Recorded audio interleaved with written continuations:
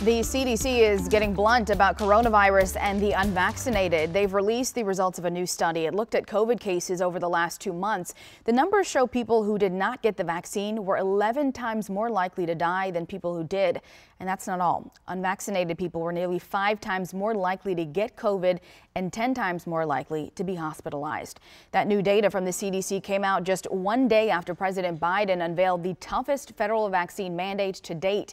It includes a new rule that employers with at least 100 employees must require workers to get their shots or get tested every week. Nearly two dozen Republican governors oppose that plan, some going as far as threatening to sue the administration.